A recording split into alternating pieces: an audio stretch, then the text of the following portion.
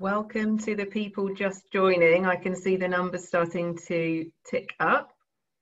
Welcome to the Cluttons webinar. We're just going to leave it a couple of minutes while people join and work out their connections. So um, we'll give it a couple of minutes and then start.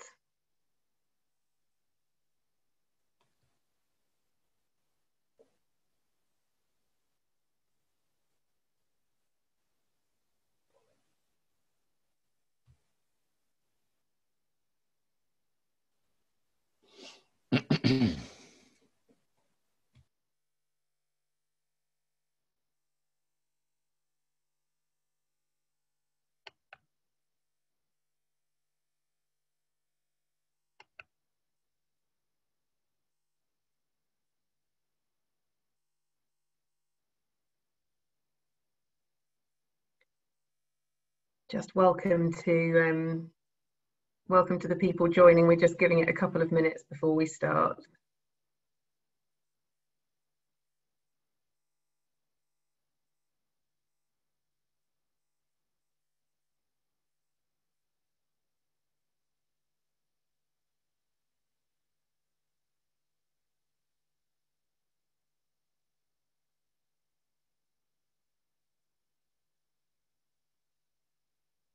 See the numbers still ticking up. I'll give it another minute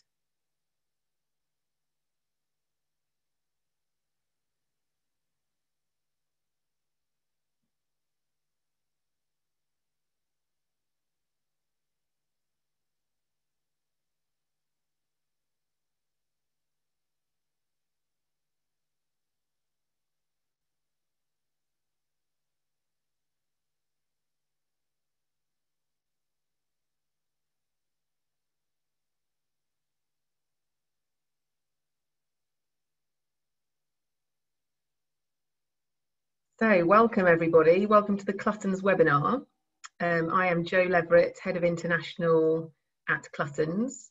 Today we will be looking into the Golden Visa Programme in Portugal, which is a visa allowing investors resident, residency in Portugal, which has a number of associated benefits, allowing them to live, conduct business and travel freely in the Schengen area. Following Brexit, we've definitely had um, an increase in inquiries from buyers looking into the golden visa. So we thought this would be a useful webinar to hold. So we'll be looking at the golden visa today, things like how to apply, the benefits, what to be aware of. We'll also be looking at a tax residency in Portugal called the non-habitual residency. And finally, we'll look at some example qualifying properties and we also have an alternative investment strategy from a fund, which will be interesting.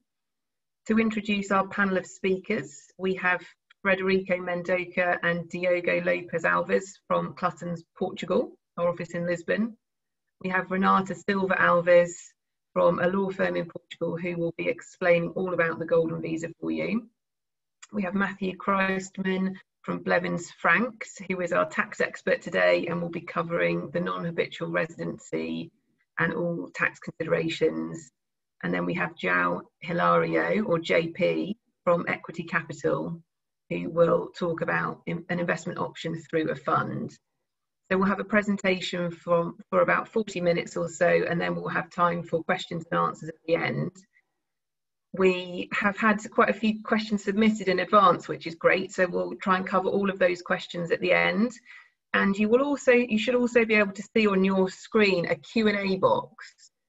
So feel free to submit, submit questions as we go along with the presentation and we will then be able to see those questions and we'll go through and answer as many as we can at the end.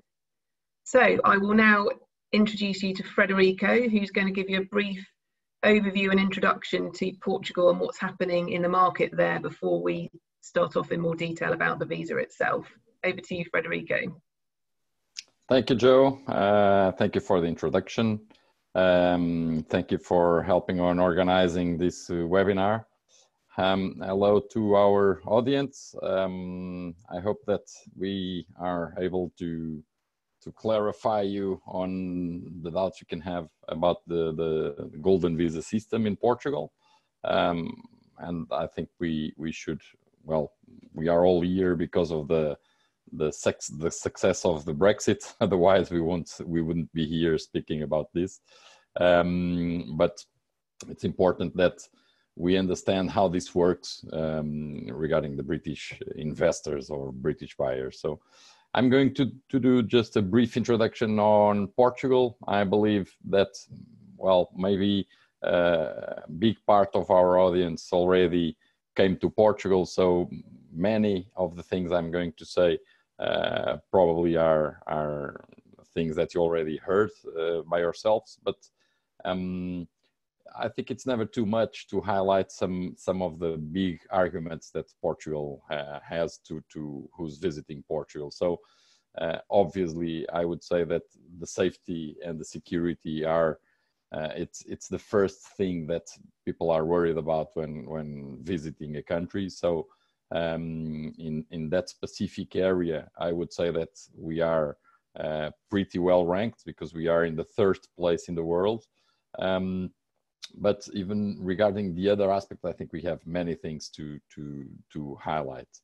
Um, if you see um, just in in quick figures, um, Portugal is a 10 million people uh, country. Um, we have a GDP, I believe it's more or less half of the UK GDP uh, per capita. So we have a 20k um, GDP per capita in Portugal, which I think it's um, with this GDP, we can do um, well. We can we don't do the same life as you have with with your um, with your GDP in the UK, but I wouldn't say it's half of the quality of life. So I think it's good to have this in mind that it's it's easier to live in Portugal with this kind of GDP than to live in the UK even with the double of this GDP.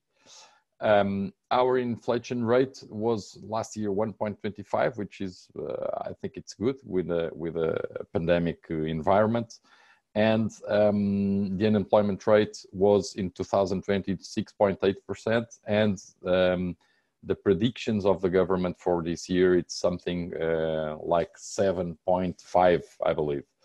Um, which is obviously not good, but it's it's important to to see that uh, um, it's one of the lowest employment rates we had in the past 10 years, uh, and the the the what the expectations of growing of this unemployment rate it's it's nothing compared to um, to what's happening in the in the world because of the pandemics. Okay, so I think it's it's very good to hear from this. The the sources are secure, so uh, I think it's it's good for us. Of course, um, 2023 uh, can be uh, increasing yet, but but but I think it's even so it's it's a good number. Thanks, Joe. Can this this is where we where we are where I was uh, telling you about the the rank of Portugal uh, regarding the the global Peace index. So we are just behind New Zealand and Iceland. I think this is an amazing achievement for Portugal, and I think we should cover our walls in the office with with this because it's it's uh, it's uh, it's a very good argument for us. Um, the other one depends on us. This one doesn't depend on us, but but we have also um, one of the best um, spots in terms of climate. So we have uh, we are just behind California when, when we are talking about hours of sun per year, which is very, very nice. And it's one of your attractions. Now, just to, we'd like just to give you some highlights on, on what's happening in the market, um, especially um, because our market is pretty much driven by, by the tourism. So whenever you have a strong impact in tourism, you have a strong impact in the in the real estate market. So um, we lived in in 2019. We were living a very um, hot spot in terms of real estate market and tourism market. So every hotels, uh, every um, brands were well smiling all the years because the, the numbers were always of growing uh, more than two digits per year so it was it was very good it was a very good achievement until 2019 and of course this area uh, suffered a very strong impact with uh, with um, with the crisis with the pandemics because the flights were completely canceled. So the tourists didn't come. I think we lived that as well as well as all of the world. So um, I don't think we we we did uh, nothing pretty much different uh, of the other countries, but but one thing is for sure um, we are prepared for the recovery uh, and we are planning the recovering um, starting i would say this this year this this summer um, and the predictions of the government is to be in the same level of 2019 already in 2023 and 2024 so um, we have to bear in mind that uh, even with the, the recovery, um, we have to look at the whole country and not only specific areas. Of course, uh, for the Algarve, for example, we are expecting a very quick recovery because uh, it's something that the, the, the, hotels are going to be full in full operation from the summer onwards. But in the cities, the hotels are are not that that uh, uh, in with that occupancy. So it's it's um, it's more delayed. The recovery it's more delayed, and we are expecting the overall re, uh, recovery to be to take more time. The other thing we want to highlight is that um, even so, even in 2020, we, Portugal was um, considered the Europe leading destination for the fourth consecutive year, which is something that we should be proud of. And uh, the world's leading destination we were for three consecutive years but we lost it in 2020 so uh, well i didn't i wouldn't say we lost it. I would say that we didn't earn it in 2020 but we are um, well we are in the in the highlights uh, of the of the of the rest of the Europe and and the and the world. So um, we are still being one of the the preferred uh, destinations to go. Um, now, regarding the residential market, uh, I'm not going to give you some massive information about this because we can be here for hours, but uh, I think we should um, highlight the, the most important messages, which is um, the market during the pandemics, the market um, suffered a little bit in the prices on the low ranges of the prices. So the prices until 500k uh, suffered some drops in the prices during 2020, 2021. Um, but what we could assist is is very curious, which is uh, we still uh, test testified some growing on the pricing, rising prices in the in the the rest of the sector in the in the prices over 500k. Uh, which is a very strong signal from the market. Um, basically, we had a kind of a replacement from the, the international buyers that we didn't have in 20 in 2020, but they were replaced for local market, which is very important information when we are looking at a country to invest. So uh, I think that's one of the most important things. The other example i think it's very good to to give. There are several developments. I'm i'm reminding now one of them like Troia resort or belas camp. Troia resort for for example was a development that opened sales in 2009 um, they are on sales on a sales process since that time uh, and in they ended um, the, the full sales process process uh, the last uh, this last month in April. So basically, it's a very good example to to look at some to look at the project that uh, it was very hard to do the some the, the first sales that it's they passed through a, a, very aggressive crisis in 2008 2009 until 2013 then they started to recover and they've sold i don't know but maybe in this first four or five months of the year, they sold the last 30 units or the last uh, 35 units. And when we are talking about the last 35 units of a resort, we are always talking uh, not about the best units of a resort. So this is a very this is a very strong sign uh, that the market is giving to us. Um, uh, and the local market it's responsible for that too not only the international market so uh, the other example is Belas Club Camp. It's another resort that we are um, marketing, and uh, they are living the same, more or less the same process, with the only difference that they are not ending the sales process yet, but they are doing well with the sales uh, for people and special for local market too, uh, being replaced for the the international market.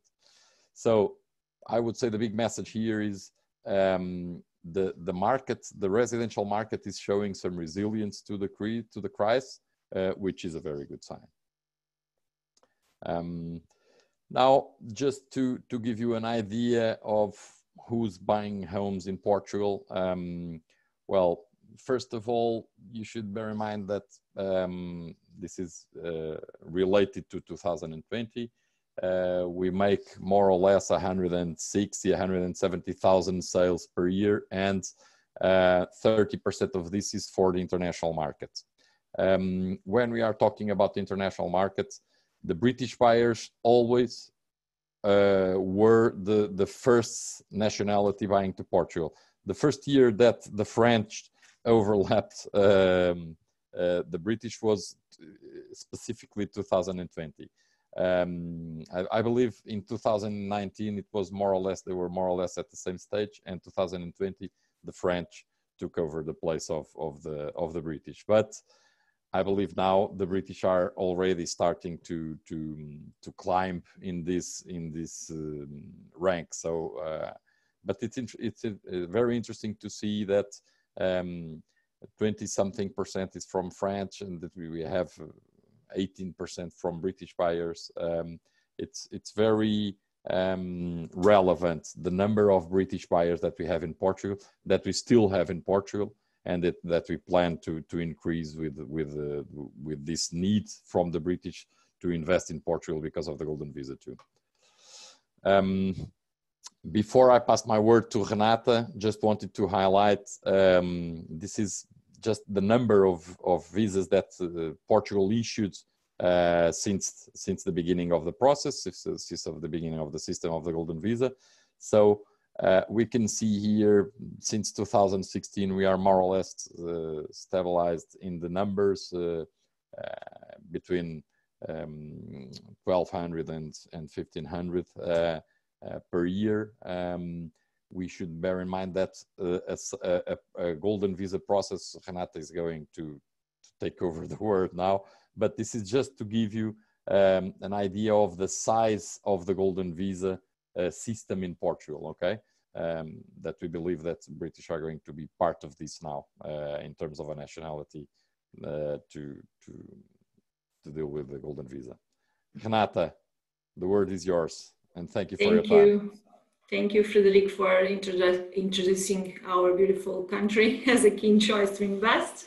And thank you also, Cluttons, for the invitation to be here today. Uh, good morning to everyone that is listening to us. Thank you for coming. Um, as you all know, we Portugal in the last uh, few years has established itself on the international stage as a notable destination for foreign investment, namely through the implementation of two main programs. The Golden Visa, which will I speak uh, today uh, in a broad uh, uh, view since Joanna only gave me 10 minutes and I will try to keep the, the 10 minutes and the non-habitual uh, residents that uh, Matthew will speak about later. So I will try to give you the main, uh, uh, the main topics and characteristics of the Golden Visa. And then Matthew will share the main topics on the, the, the tax uh, uh aspects of the residents in Portugal. Uh, in 2008, uh, we were all facing a world crisis and Portugal uh, was struggling, is struggling, was struggling with uh, how to manage the situation and how to benefit our economy and our population uh, with uh, uh, the crisis that we are were, were uh, facing. Portugal faced the necessity to create methods and mechanisms to attract foreign investment and definitely one of the most successful one has been the implementation in our country of the Golden Visa program. So, first of all, the main question that we need to ask is what is the Golden Visa? So, the Golden Visa is just a residence permit for investment activity known here as Golden Visa uh, or ARI. And now it's important to understand who can uh, apply for uh, uh, this golden visa, who qualifies for this golden visa. And all people that are not a, a, European citizen or a Schengen area citizen can apply for a golden visa here in Portugal. Thank you, Joanna, for the, for the slide. Because uh, aside from who qualifies for the golden visa, it's important to understand which investment activities are eligible for the golden visa here in Portugal. Our, our law foresees uh, several options, uh, such as, as you can see in the, in the slide, the capital transfer, being the bank deposit the most popular one. The amount of investment or the minimum threshold is 1 million euros. Also, you have the possibility to acquire shares in investment funds and venture capital funds, specially designed for Golden Visa investors and Golden Visa purposes, João will talk about talk about with, uh, some options for the golden visa uh, uh, funds for, for this for this purpose. Uh, however, there are at least three requirements that are necessary that these funds fulfill with. The first one is the funds needs to be dedicated to companies capitalization. the maturity of the funds needs to be a minimum of five years period and at least 60% of the investment needs to be on commercial companies with head office in Portugal. You also have the option uh, to create 10 jobs in Portugal, or for example, to incorporate a company uh, with a registered office here in Portugal, or increase the share capital of an existing company here in Portugal, and at the same time create at least uh, five permanent jobs. Other option is, for instance, the investment in supporting artistic activities, research activities, reconstruction or refurbishment of national heritage, for example, or um, the most, uh, or within the, the, several qualification options, the, the most popular one is definitely the acquisition in real estate the investment through the acquisition of real estate can be made um, by, two, by two ways. You can purchase a real estate property with a minimum threshold or purchase price of 500,000 euros, or in case you purchase a property in a low density area, the investment, the minimum investment is 400,000 euros. Or you can also invest in real estate through the acquisition of a property, of a property with at least 30 years old, or it is located within rehabilitation areas that are uh, uh, listed in, in the, the different uh, cities of Portugal, and at the same time uh, execute refurbishment works. And the acquisition of the property plus the refurbishment works needs to reach the minimum threshold of 350 or in case low density areas 280. It's very important here to highlight that the refurbishment works, it's not uh, just to make uh, some painting on the walls or to change some, some of the flooring. No, it needs, really needs to be uh, full refurbishment work and the, the, the wording refurbishment is foreseen in the law and uh, before submit any application or choose to submit uh, this type of investment, it's really important to understand what kind of refurbishment works needs to be executed in the property uh, to be able to be eligible for the golden visa application. Um, so these rules will apply until the end of 2021. Uh, I think everybody is uh, a little bit aware that the Golden Visa program in Portugal has been facing since the beginning some objection and as the Portuguese government decided to introduce some amendments to the Golden Visa program and there are several changes coming to effect as from January 1st to 2022.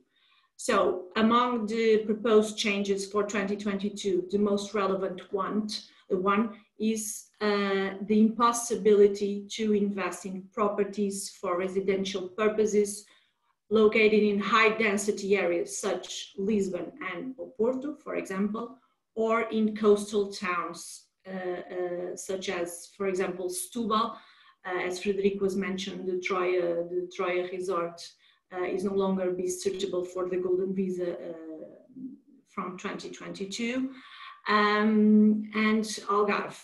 So those areas will not be possible or will not be eligible for the golden visas from the next year. Only uh, Azores Island, Madeira Island, and the interior areas that are listed in, in our, our law will be suitable for the golden visa. Here is important that the, the exclusion for Lisbon, Oporto, and all the main high density areas, it's only for residential properties, meaning that any property destined for services or commerce, commerce for example, are still um, be able to uh, uh, uh, be eligible for the golden visa application. In case of the, the funds and the other type of the investments, the major uh, change is the increase of the minimum threshold to 500,000 uh, uh, euros. In case of transfer of capital, the increase is from 1 million to 1 million and a half. The basic criteria, it's quite the same, only the amounts uh, are changing for 2022. Um, we tried to understand why uh, these changes uh, uh, are, are, concentrated in the properties destined for, for residential purposes and the government tried to explain or, or tried to justify those changes with the, the, the attempt to uh, balance the demographic between coastal areas and interior trying to encourage the investment in these low density areas, namely in the interior, and balance uh, the, the, the, or leaving the main cities for local people. However, as you were able to see in, in Frederico's slide, uh, the percentage of people that are investing in low, uh, in high density areas in Lisbon and Porto for golden visa purposes is quite uh, uh insignificant uh, seeing the big picture of the investment in those in those cities. So we are not so sure that those changes are uh, uh necessary to uh, uh, achieve the goals that the government and and and local people and governments and and and uh, political parties are aiming to to achieve with those with those changes. Uh, however, it's important to highlight that uh, up until December 2021, all uh, investors that uh, uh, are willing to, to get a golden visa can uh, still buy a property in those high density areas. so until the end of this year, it's still possible to purchase a, a, a residential house here in Lisbon or in Oporto for the purposes of the, of the golden visa. Also, it is important that uh, to, to highlight that any investor that submits the golden visa application before the end of this year will still be able to benefit from all the terms of the golden visa application as they are now. No changes will be applicable until the end of the year. Uh, now, Joe, if you could please go to the step plan just to give you a broad uh, uh, uh step plan of the, the, the golden visa application. So the first, the first step will be, the, the first step or the pre-step of the step plan is to get a Portuguese tax number and open a bank account here in Portugal. Then you can decide which type of investment do you want to choose real estate transfer of capital investment in, in the artistic uh, uh, in the artistic uh, area or one of the options that i spoke about uh, earlier and then if you choose, for example, to buy a property, you have to um, sign the deed of purchase and sale and then uh, uh, proceed with the golden visa application. For that purpose, you need to obtain several documents, such as, for instance, criminal records, uh, um, birth certificates, marriage certificates, and a lot of, of other uh, documents that are necessary. Um, next step will be to submit the online application and then wait for between those days, I would say 45 to 60 days to get the online approval. Uh, upon the online approval, it is possible to uh, make an appointment at SEF, uh, Immigration Services, to collect biometrics and then move on with the, with the Golden Visa.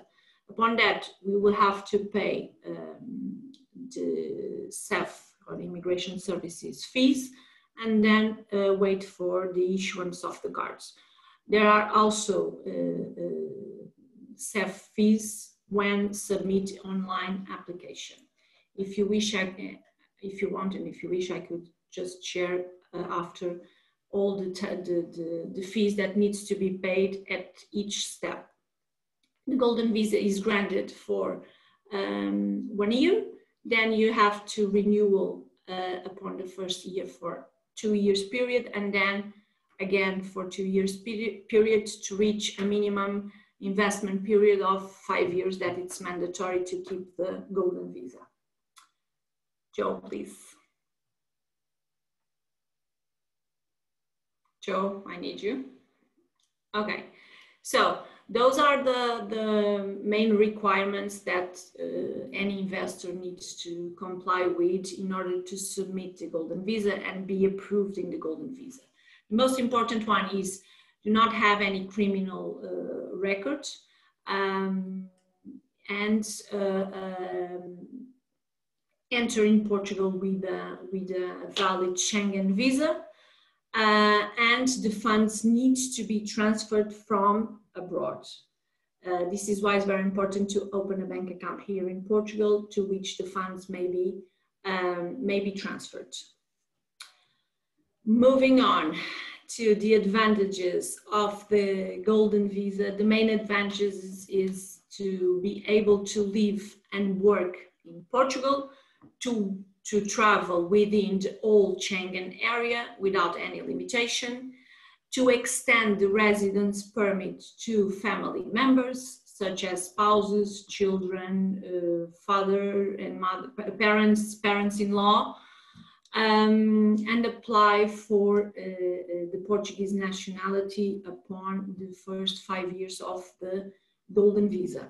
It is important to highlight here that upon uh, uh this period of five years, uh, in order to submit the Portuguese nationality, the residence permit needs to be valid. So the option is to apply for a permanent residence here in Portugal uh, through the Golden Visa uh, program or to renew the Golden Visa for another period of two years and then have uh, a valid residence permit at the time the nationality is granted. Um, finally, Joe. Finally, and before to, to move on to Matthew, um, it's just a, a, a, an highlight of the, this tax regime that, uh, that um, Matthew will speak uh, to you with, in more detail. And uh, there are a lot of, of requirements that needs to be, to be met. And it is possible for a golden visa investor to get the golden visa and then move to Portugal and apply for the non-habitual residence. It's not mandatory, it's a possibility. And Matthew will explain uh, which requirements needs to be, to be fulfilled. And uh, it is important to, to, to say that the golden visa is a residence permit and all the requirements needs to be uh, met in order to, to be granted with a golden visa application. Matthew, I move to you now. Thank you. Thank you very much, Renata. Um, so first of all, thank you very much to Cluttons for um, inviting me on this today. Um, I'm a Brit, as you can probably hear, been living in Lisbon for the past 18 years. So I'm a long-term resident of Lisbon and Portugal. Um, and I can certainly say I, I, really enjoyed those slides about Portugal in terms of the the Global Peace Index and, and, the, and the climate, which um, um, of course I can reinforce, but also as a Brit living here, it really is a lovely lifestyle. Um, you might be aware that Portugal and the UK have the world's oldest political alliance. Um, so very much, um, we're very much friends politically, um, and you feel that living in Portugal. Um, now, as a company, Blevins Franks, uh, we've been in Portugal for over 40 years. We are independent financial advisors, and we provide not only tax advice, but investment and pension advice. Um, but what I'm going to talk about today is the tax side now of living in Portugal and the benefits. So up until now, we've, we've you've heard about the golden visa, the benefits to it. Um, just to make it clear here, the golden visa is, is, is a residency status that, that Renata explained um, very thoroughly. Um, I'm going to talk about the tax side now, something called non-habitual residency. Um, a non-habitual residency is a tax status. It's completely separate to residency. So the first thing about non-habitual residence is that you have to become a resident. You have to go through the residency channels to come and live here and become a tax resident. But if you become a tax resident in Portugal, um, then you have a number of tax breaks that add to the attractiveness of the country. So this first slide, this first bullet point is um, that Portugal believes that not only do um, low taxes attract people, but these people who come to the country spend money that boosts the economy. Um, and this creates additional jobs for locals and results in, in, in more tax revenue. So uh, for somebody that, that, as I mentioned, lived in Lisbon for nearly 20 years, um, this really has worked in Portugal because this non-habitual residency that came in in 2009 um, has been a huge boost to the economy. And I really noticed it in Lisbon. Any of us living here, we noticed that after really about 2000, maybe 12, 13 onwards, the effects of the golden visa, the non-habitual residency, has really changed, this, certainly Lisbon and Porto, um, with huge amounts of investment and, and really the, the knock-on effects for the, for the local economy. Um, so, second slide. This non-habitual residency is that anyone who becomes tax resident in Portugal and hasn't lived here for the previous five tax years has the ability as a tax resident to get this non-habitual residency status. Um, and what I mean, really, the name non-habitual residency sometimes can be a bit confusing. You have to be a resident to get this non-habitual residency status. But the name comes from the fact that you haven't been a resident or a habitual resident of Portugal in the previous five years. So that's where the name comes from. So this NHR status um, is for those people coming here either working as an employee, self-employed, or retired. A lot of the people that, that, that we um, advise come here as retirees, um, but also you get beneficial status if you come here and work here have something called a high value added occupation, which I'll come on to. Um, but the, the clear thing here is that, first of all, you need to become tax residents to apply for non-habitual residency status and you need to apply before the 31st of March the following year. Otherwise, you lose the ability to have NHR. So, as an example, if you came to Portugal now in, in May 2021, you have until the 31st of March 2022 to apply for NHR. So you, have got, you've got time, but what most people do is they, as soon as they get tax residence, they apply for NHR status. Okay, next slide, please. So what are these, the benefits of the, this special tax status? Um, so for a 10-year period in Portugal, and by the way, you don't need to be here for the whole 10-year period. If you, if you leave in that time, that's no problem. You're not tied in for 10 years. Um, but for 10 years, for first of all, foreign source income is that on investment income, there's no tax, tax exemption. So any investment income arising outside Portugal there'll be no tax in Portugal for 10 years. And on the pension side, there's now a 10% flat rate of all pensions arising outside Portugal. So any of you with British pensions, those will be taxed at the flat 10% tax rate in Portugal. And as a Portuguese tax resident, you've got to remember you're taxed on your worldwide income and gains. So that UK pension, even if it's paid to you in the UK, but if you're a Portuguese tax resident, the tax base on that is Portugal. You will not pay tax on that in the UK. The only UK pension that, that, that, that the UK um, demands tax at source are civil service pensions. But everything else will be taxed in Portugal on a flat rate of 10%, which if you compare that to UK tax on pensions or other EU countries, tax on their pensions, it's a very, very favourable rate. Um, now also, that's actually a change because up until the 1st of April 2020, that was zero. There was no tax on, on uh, pensions under NHR. However, um, Portugal bowed to pressure from some of its EU partners to start taxing it, um, uh, and they agreed on a 10% rate. Um, I'm really, I mean, in my opinion, that, that shows, well, first of all, it gives it more credibility at 10%, um, but also it shows Portugal's commitment. Because remember, this has now been around for 12 years. Um, NHR came in to effect with a very different Portuguese government, and it's gone through successive Portuguese governments. Um, uh, so all the way through different sort of political spectrum, bit different political colours, and each government has ratified NHR. So really, in, in, in our opinion, it seems to be politically across the spectrums um, rubber stamped and here to stay. Now, on the final bullet point there, sorry, Joe, could you go back one? Sorry.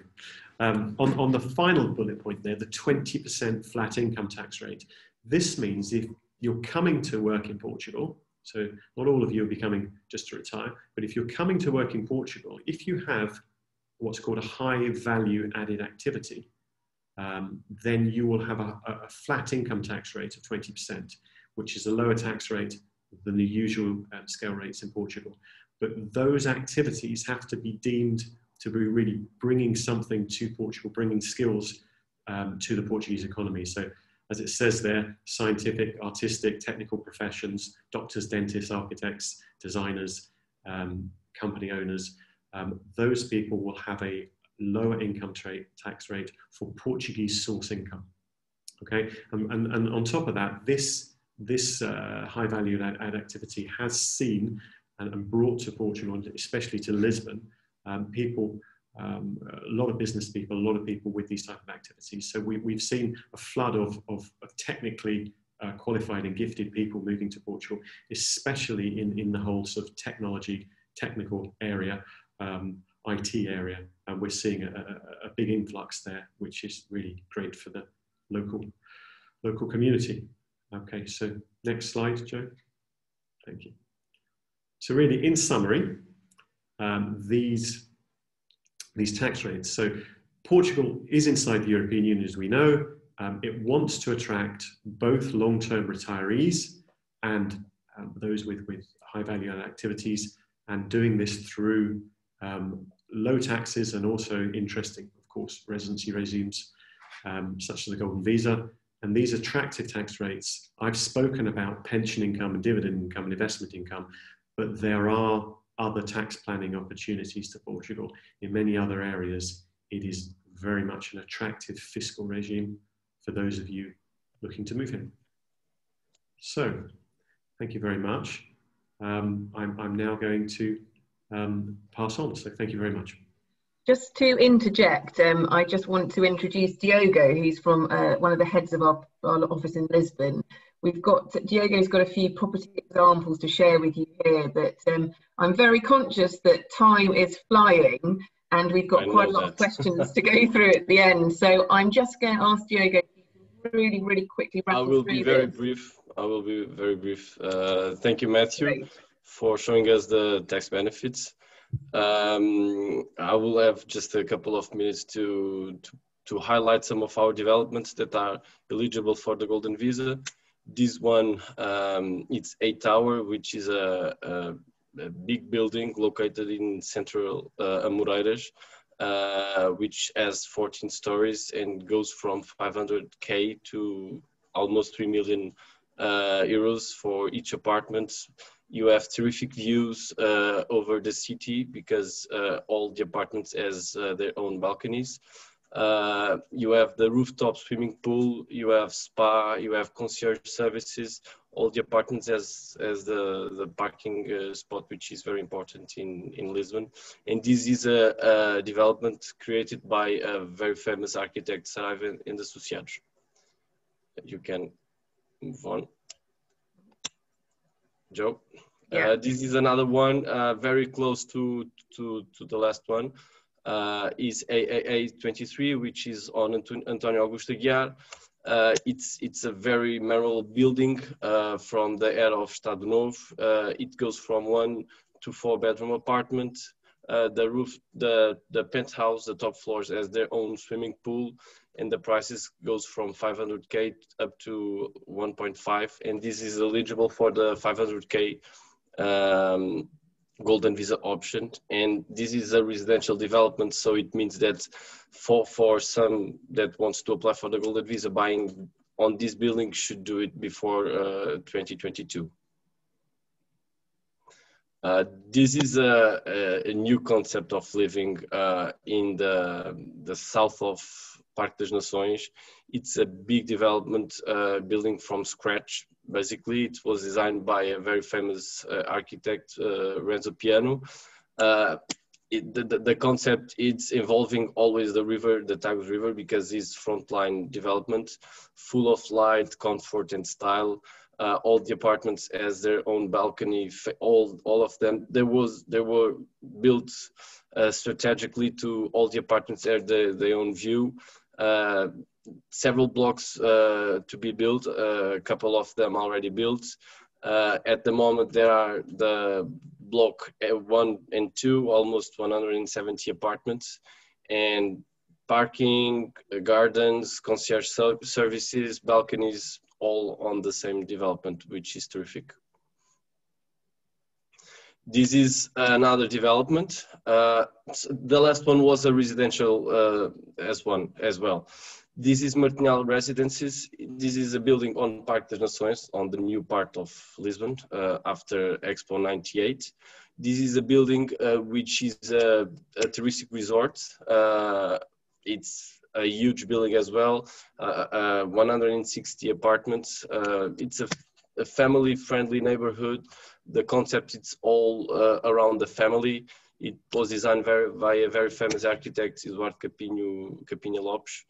Uh, there, there are the part of the investment part, which is from one to the fourth floor. Uh, the above uh, are the residential uh, style of, of, of living, but uh, at the same time, this is a, um, a touristic resort, so it's just a concept. Uh, prices goes from 340k up to 5 million and this is a, this one is a good one because after 2022, you can still buy an apartment here and apply for the golden visa because it's a touristic resort. You can move on. Uh, this one, Belas Club de Campo, is a, a residential development uh, that was, uh, the, the inauguration was on 94. Uh, it's in, inserted in a national forest park. It's, the concept is all about the nature, the golf course, and uh, they have different style of uh, constructions, apartments, townhouses, row houses, and plots for sale. Prices goes from 400k. All the apartments or have the terrace or have the garden or swimming pool. All the apartments uh, have their own parking.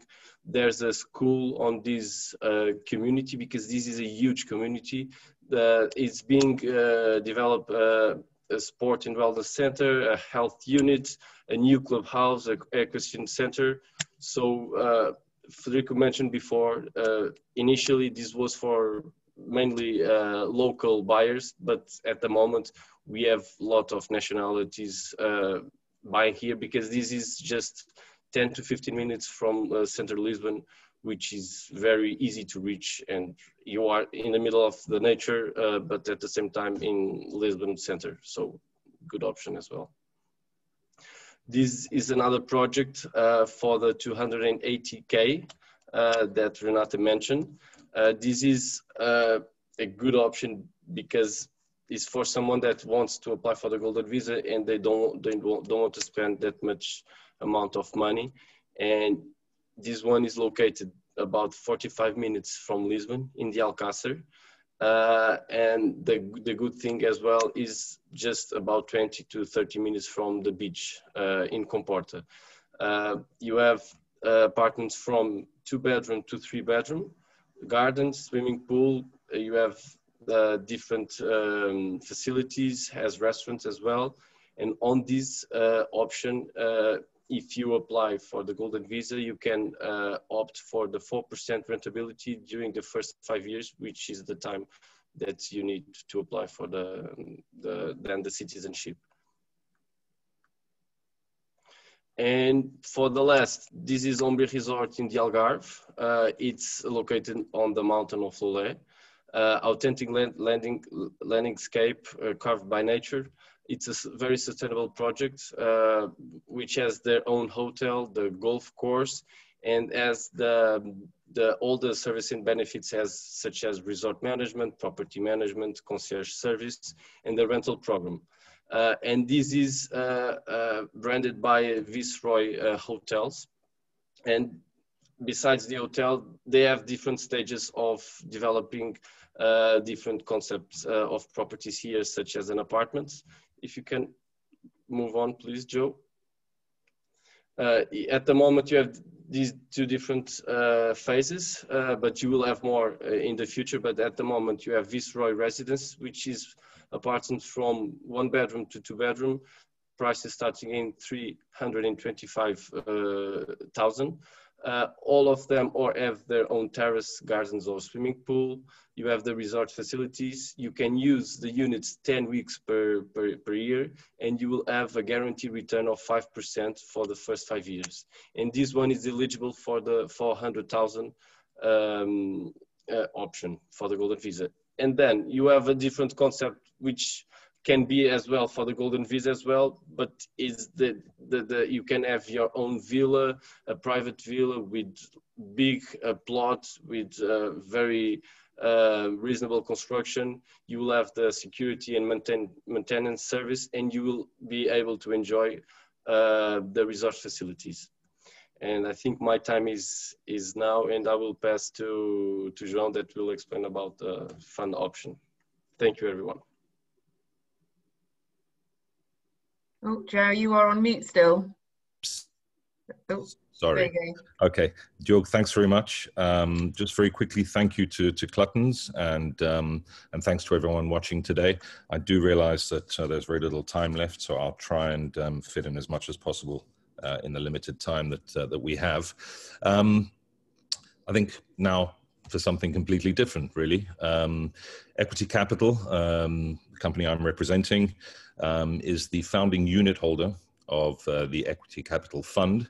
Uh, the fund is a, a fully regulated um, investment vehicle um, uh, in Portugal and uh, happens to qualify its um, investors for a Golden Visa application.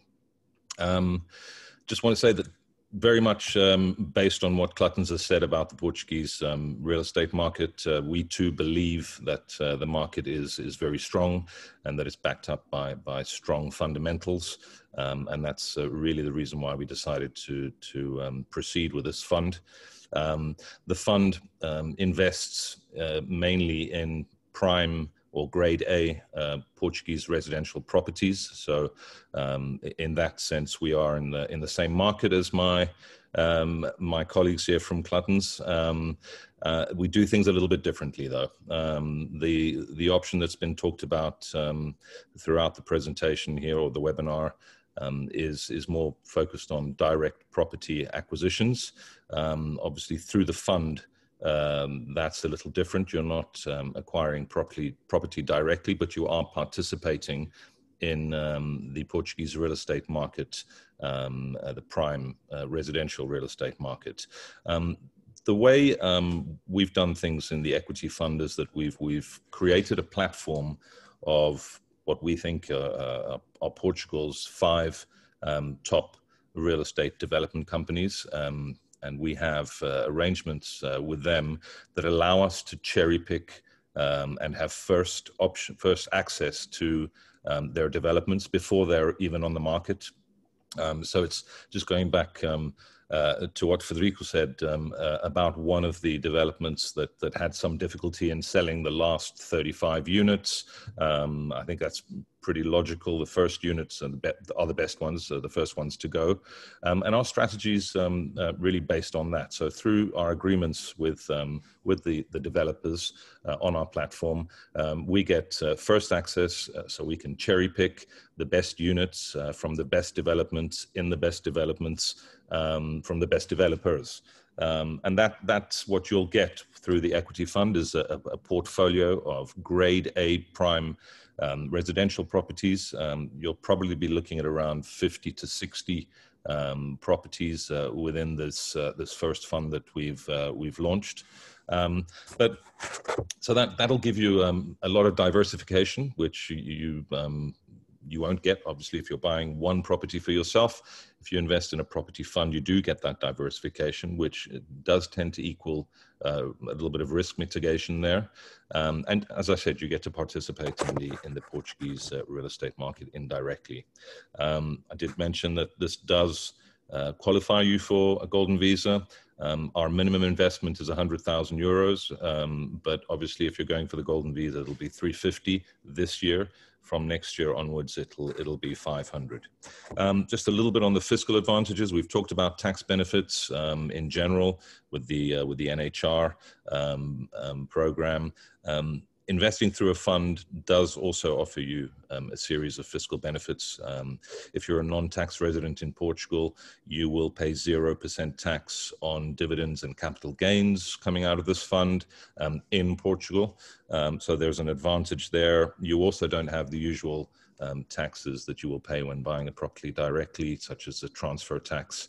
Um, and I would say, in general, uh, if you compare the fund to buying property directly, you are looking at around a 30 to 35 percent um, saving in terms of the costs um, related to that uh, to that acquisition. Um, so a low entry point uh, is what the funds also offer at 350. Um, I'd also like just to, to reference that um, the the the, the prime residential real estate market in Portugal, in, in, at least in our opinion, will continue to thrive.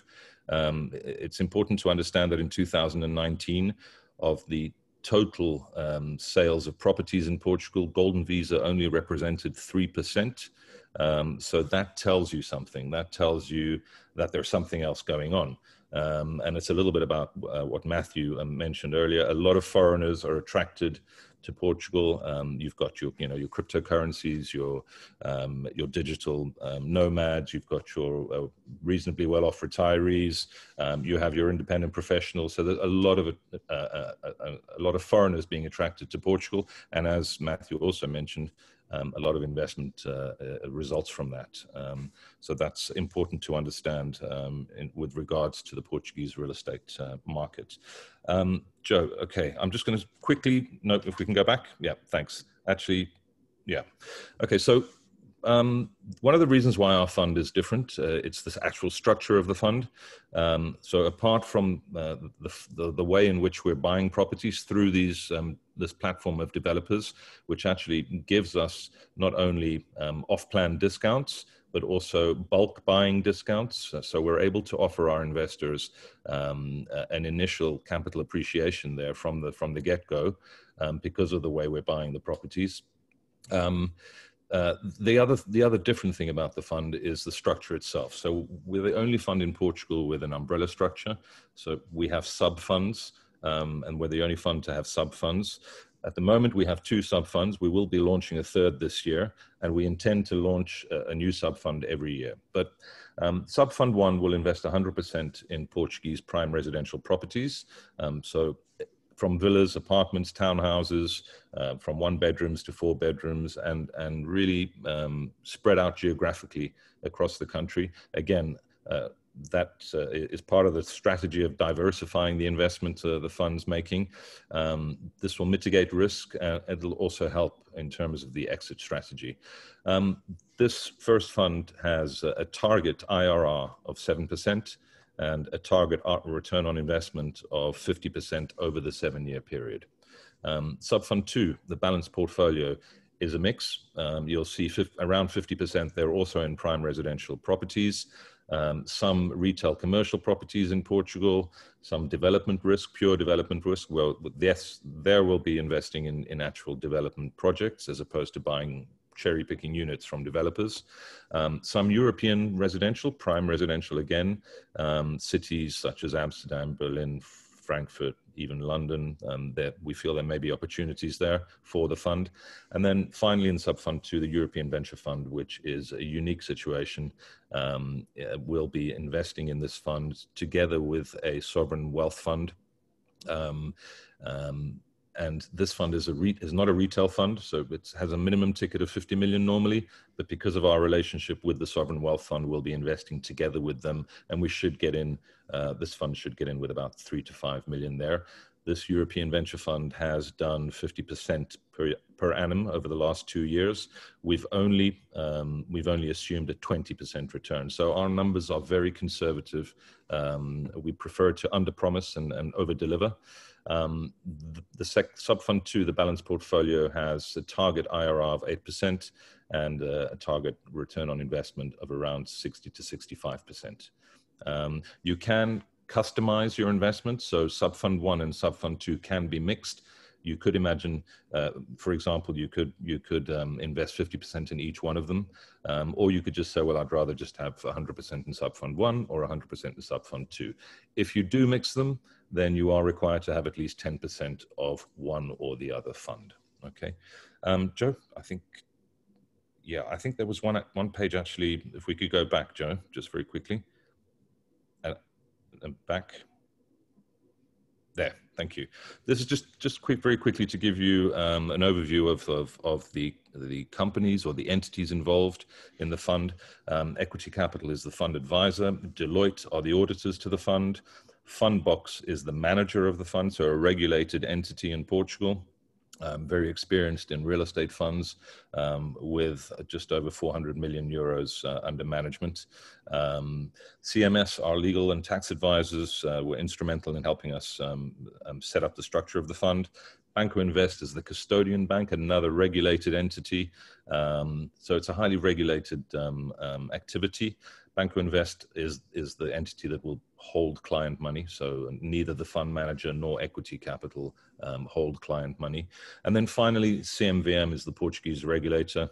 Um, so the equivalent of the FCA in uh, in London, um, slightly different to the FCA in that it's um, it's very hands-on. Um, so it's very present in the market, the regulator, um, which which we think just will just um, give investors more confidence if they know that there's a very active um, um, regulator um, overseeing the funds. Um, Joe, if we could just go to the fact sheet very quickly. Okay, so I've talked about the, the service providers to the fund, uh, the Deloitte's and the, and the fund box, the manager, um, and the, the, the, lawyers and so on. Um, but just to very quickly explain that the, the fund has a subscription period of 18 months. Um, we don't feel we're going to need all that um, because um, the way things are going in terms of onboarding clients, uh, we feel we'll we'll, we'll um, have the fund fully subscribed before those 18 months are over. Um, the the term of the fund is eight years, but we will be allowing investors uh, initial exits um, from year seven onwards, and that kind of it does kind of match the whole Golden Visa program. you know, you you can apply for residence uh, and citizenship uh, after five years. But the reality is, at the moment, it's taking more like six years um, to actually get your citizenship. Um, so, so this kind of matches the timing of the of the golden visa. The fund will have 45 million in subscribed cash, um, but it'll hold around 90 million in in assets.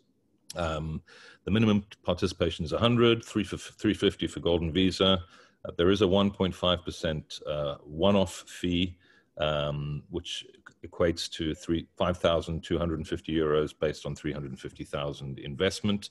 Um, other than that, um, you have a 1.5% uh, annual fee, uh, which is paid for from the, the, the, the, income generated by the fund. That's not paid by each individual investor. Um, there is a, a, profit share, um, but only after we've paid investors 3%. So that's kind of a hurdle rate. Um, I've gone through Subfund 1 and Subfund 2. I do apologize for this very, very quick presentation, but I'm aware that we don't have much time left. Anyone interested in, in learning more about the fund, I would ask that they contact Cluttons and, and we can arrange for a call. Thank you very much. Thank you, Joel. That was, that was really very good summary and it's obviously a very detailed um, lots of detailed information in there, but I would say, you know, hopefully that can give people a bit of an introduction um, and just please get in touch for more details. And um, I'm aware that we're kind of running late, but we're just going to press on with some questions. Thank you for those people that have stayed with us, which is actually the majority of people. So that's great. And um, we're going to go through the questions that we've got, and I see there are a couple more that have come in. Um, so we can we can get to answering some of those. I'm actually going to stop sharing my screen so people can um, see the panel in a bit more detail. So where do we start with the questions? That's the, the ones that have come in from outside, I think we're going to start off with first. Let me just bring them up. So are in no particular order here. Um, are the golden visa rules still the same if transferring from one EU country to another? I guess I interpret that to mean are the benefits transferable, you know, to other EU countries? Perhaps Renata, you want to have a stab at that one. Not quite sure if I understood the, the, the question. Uh, the, the person is, is, is asking if he needs to transfer the money into a Portuguese bank account through. I actually, I actually think it's asking whether the golden visa benefits can be can almost transfer from one country to another. So in terms of the I'll transfer the benefits from the uh, from Portugal to the origin country. Yes, or to another EU country. No. No, okay, so it's very specific to. Yes, yes, yes. All the benefits from the golden visa. But, well, the, the, the, the possibility to travel within the Schengen space and European Union space is applicable in, in all the, the European country uh, uh, countries. So, so in that aspect, yes, the, the benefit is is applicable in all European countries, European Union countries. And related to that, Renata, do you obviously, obviously now that we've left the EU, there is a limit to, I believe it's 90 days that you can spend in yes. the EU as a British citizen. So, yes. as a Portuguese resident, does that impact that? So, can you then spend? Obviously, you can spend, I, I assume, unlimited time in Portugal, but can you spend more than 90 days in another EU country outside of Portugal? I think that's quite a key question to clarify. Does in that make principle, sense? In principle, yes, because the same rule will apply for us as Portuguese uh, to be in Spain for 180 days. The thing is, when you spend more than a specific period in a EU, EU country, you can be suitable for tax uh, residency and have a tax impact on that. Okay, so 183 days in, in Spain, for example, uh, you take the risk of being considered as a tax resident in Spain and have to pay taxes there. But perhaps Matthew can explain the tax contingency better than myself. Um, but for instance, if uh, a British citizen apply for a golden visa and then spend 183 days here in Lisbon or in Spain, there is this risk Matthew, do you have anything to help me? Sorry, Renata, I didn't realize you wanted me to add that. Yeah, um, yeah. Look, to, to, to be a tax resident in Portugal, it's the 183 day rule, so which is six months and one day. The tax year in Portugal is different than the UK. It's a calendar year, so it's very simple. It's it's from the 1st of January to the 31st of December.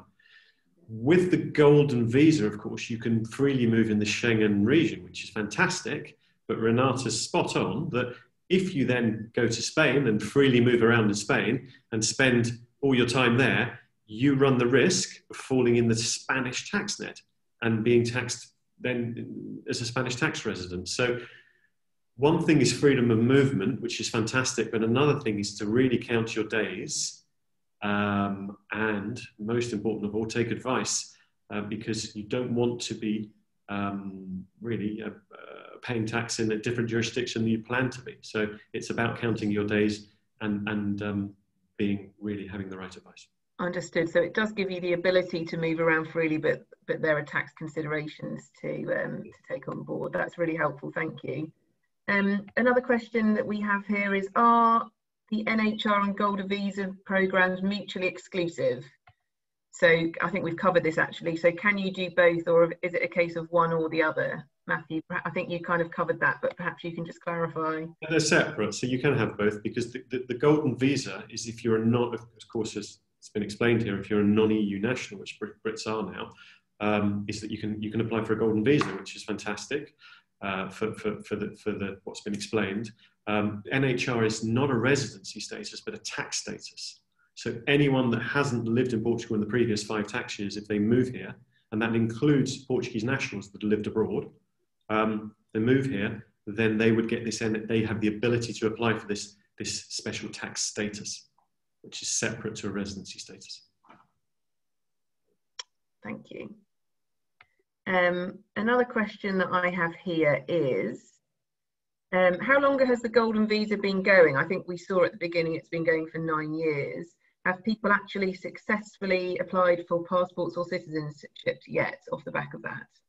Yes, we have a lot of clients that submitted, were the first to submit the Golden Visa back in 2012, and they already have a Portuguese uh, nationality and passport. Great, that's very helpful, Renata. Thank you very much. Um, just looking at this next question here. Does being a Portuguese resident count towards the time you were actually in the EU? For example, if I spend January and February in Portugal and then wanted to go to Germany for two months, will I have used up my 90 days? So can only be in Germany for one month. I think we've kind of covered that. It sounds like you can freely move around the Schengen area with the 90 days thing would not not apply to you. Obviously, there's tax considerations, but is that correct? Yes. Yes, that's correct. Perfect. Very good. Okay. It's not impossible to for the Portuguese authorities if you have a Schengen visa and you enter in Portugal.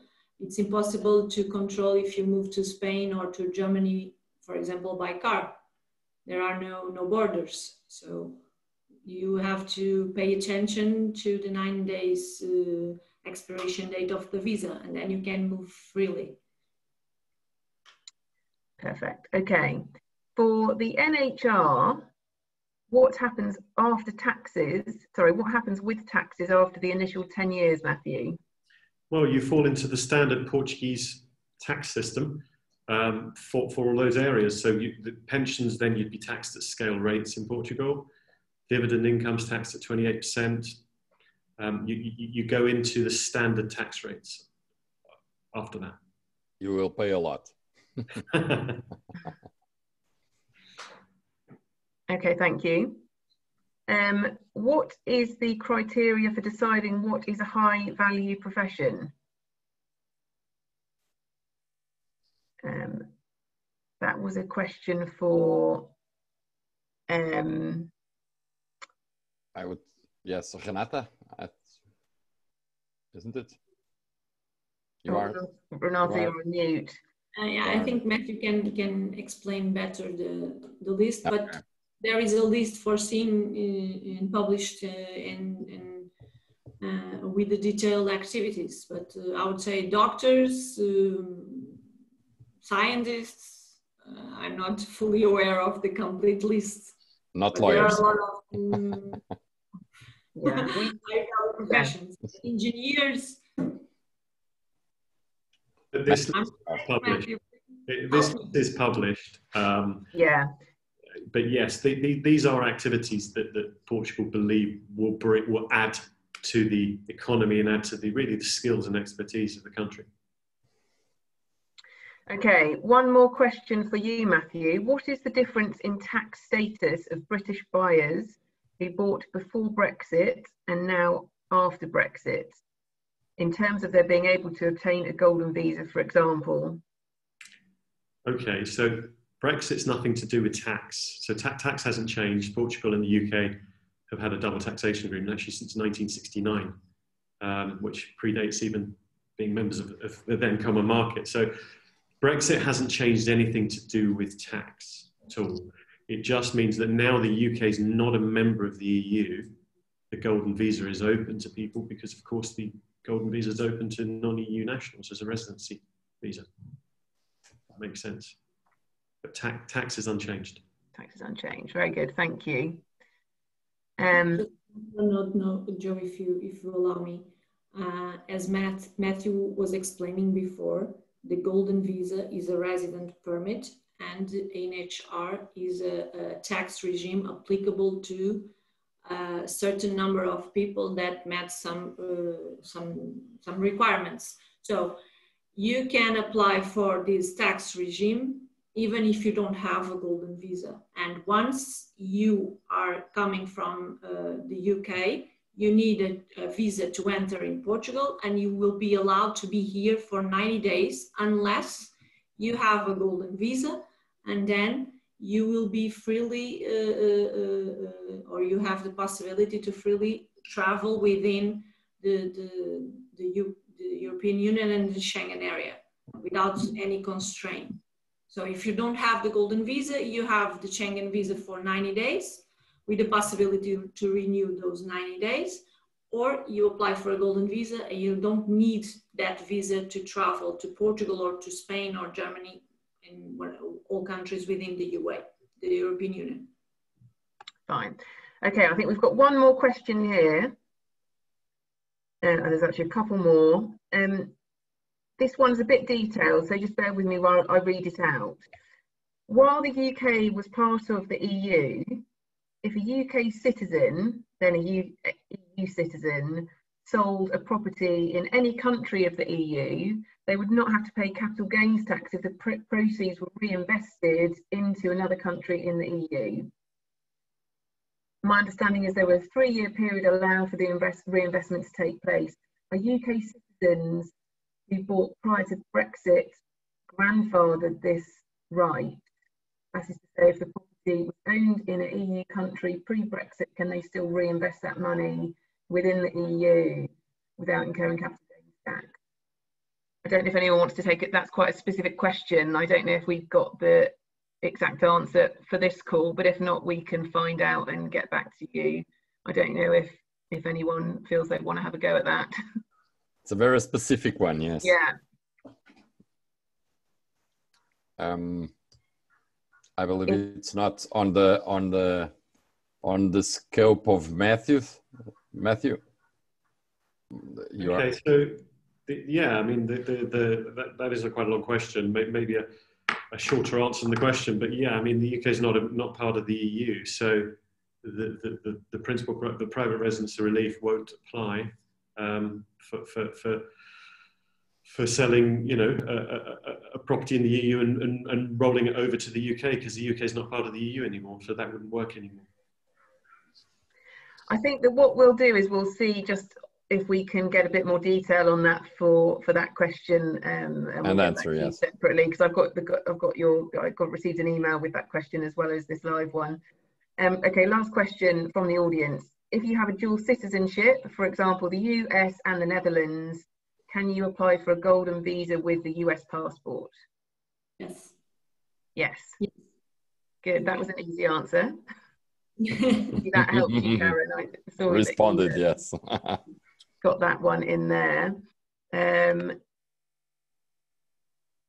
and I think that's all of the questions that have come in through from the audience.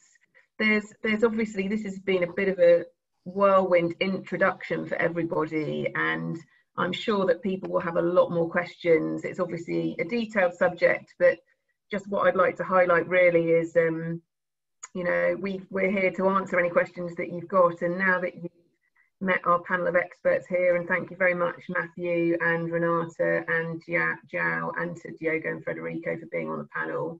I would just encourage you to all get in touch and we're going to send out an email to everyone that's attended and registered to attend that wasn't able to make it um, with the slides and the details of this. So just please do get in touch with any specific questions and we'll be delighted to help step you through any detailed questions or any application or property search. So thanks very much for attending. Thank you, thank you much, Joe. Joe. Thank you very much, everybody. Thank yes, thank you to the audience too. And yeah, thanks to the audience. If and, you have any any doubts, you can reach us on the contact on the on the presentation. Exactly. So please do there's, get in touch. Thanks everyone one, for your time. Joe, there's one more one more question. Uh, oh, one more just popped last up. minute, yes, but it's just to uh, if they can have access to the to the recording of the of the webinar, which is possible, I think. Yes, exactly. We yes. have recorded it, so we'll send it out to you all, so you can listen back at your own at your own time. Yeah, absolutely. Brilliant. Thanks, everyone. Brilliant. Thanks, thanks for all of your time, everyone. Thank you, everyone. Thank you, everyone. Thank you. Thanks. Bye. Bye. Bye. Thank you.